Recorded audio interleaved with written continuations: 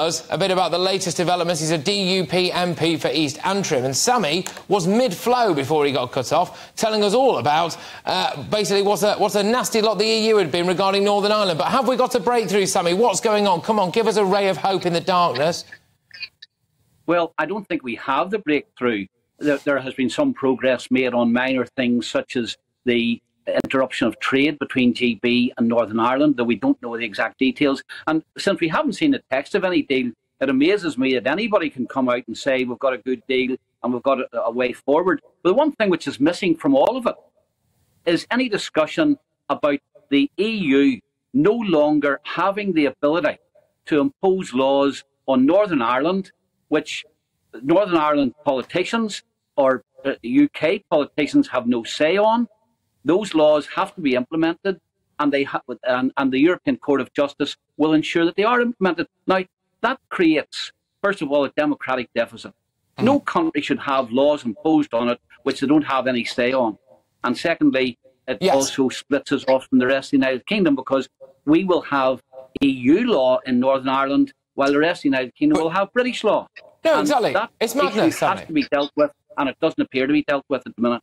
Sammy, it's madness. Some people would argue it's borderline treason, actually, and other people would argue potentially it's even some kind of very, very soft act of war, the idea that you just... I mean, if we just went and nicked a bit of Belgium, for goodness sake, and decided, oh, well, that's it, Belgium's under our jurisdiction now, I think they'd kick right off. Although, to be fair, given the track record of some people on the continent, we don't know exactly what they would do about it. But, Sammy, if Rishi Sunak does decide that, that, that, that, some kind of deal that means that the fair people of Northern Ireland are still essentially at the mercy of Brussels, if he decides that's a good idea, has he betrayed Britain? Well, I think that first of all, he can no longer claim to be a, a conservative and unionist prime minister. And secondly, he has to explain to the people of the United Kingdom why he is happy to hand over a part of the United Kingdom and leave it in as, as a colony of um, the EU. And don't forget, I mean, the, the impact of this so far has been bad economically on Northern Ireland. It has encouraged those who want to break the union up in Scotland as well, because they say they want the same uh, uh, benefits as they claim it that Northern Ireland have, i.e., mm. to be able to have European law rather than British law applied to them. And uh, so I think that there's a, a, a serious constitutional issue here that has to be addressed because it affects the whole of the United Kingdom. And don't forget, some of the EU, EU laws which will apply in Northern Ireland will also impact on the on the rest of the United Kingdom. Let me give you one example. The Chancellor can no longer mm. imp, uh, uh, uh, um, impose VAT rates across the whole of the country.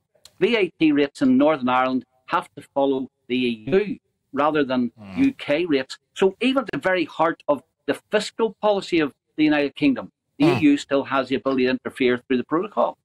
Yeah, I mean, it is absolutely remarkable. We talk a lot here, don't we, about the fact that uh, on the south coast of England we're seeing what Suella Braverman has regarded as an invasion. Well, there's been a very, very subtle one that appears to have taken place in Northern Ireland, and that's taken place by the European uh, Union, hasn't it? So, are you? What's the general mood like, though? Because I would be concerned that if the vast majority of people in Northern Ireland didn't vote for Brexit, that to me it's pretty straightforward that maybe they wanted to stay in the EU anyway. How would you respond to people who say, well, they're getting what they want, they're in alignment with the European Union? Well, of course, the people who complain about that are also quite happy to have all of the financial benefits of being part of the United Kingdom.